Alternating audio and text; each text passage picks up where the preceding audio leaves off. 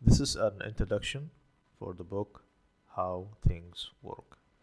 The idea of the book comes from the challenges I faced in technology in both areas development and management.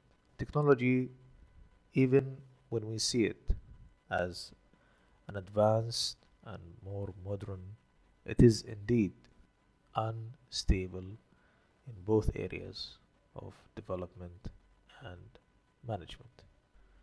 This research result has been made and delivered in very simple pictures to make it easier for the reader to consume and observe the general concept after avoiding the barrier of language and literature to make it very simple to understand and more flexible to accept new ideas and details.